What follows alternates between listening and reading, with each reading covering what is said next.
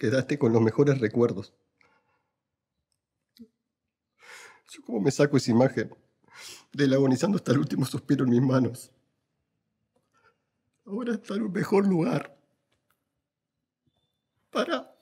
Tan mal estaba al lado mío que ahora está en un mejor lugar.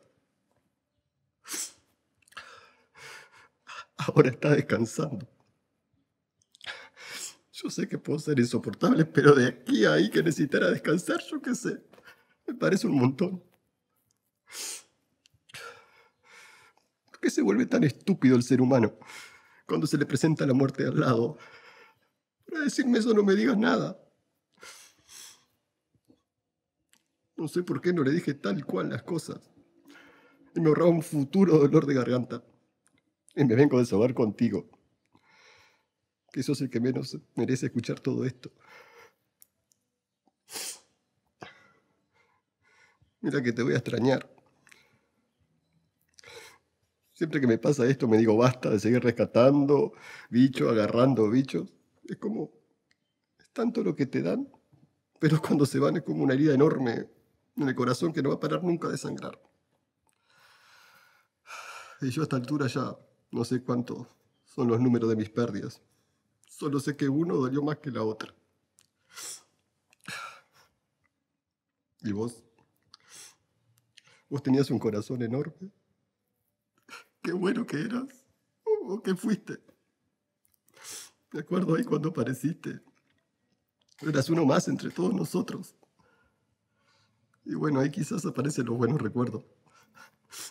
Me enviaste tanto en la cortina que te tuve que castrar, engordaste como 10 kilos no te fuiste nunca más de mi lado. Las viste todas, ¿eh? Vos sí que las viste todas. Me viste cuando estaba allá arriba. oh, bueno, creía estarlo. Qué vida de mierda cuando crees que tenés todo y no lo tenés nada. El títere de una arpía que lo único que hizo fue dejarme en la calle. Y ahí me tocó caer. Pero fue muy hasta el fondo. Y me tuve que volver a levantar. Estabas ahí al lado mío. Siempre al lado mío. En este invierno me va a faltar mi bolsita natural de agua caliente en la cama. Tu lugarcito en la estufa. La mancha en el sofá. A veces pienso que parece que nada puede estar bien porque cuando así lo siento, me pregunto por dónde va a venir la piña. Mira por dónde vino. Y ahora no hay teoría que me ayude. Yo solo puedo respirar. En este momento yo solo puedo respirar. Chao, mi amigo. Te voy a extrañar mucho. Te me adelantaste, como dice la tía. Cuídame y espérame, porque va a ser muy difícil tapar la realidad con este pedazo de cartulina.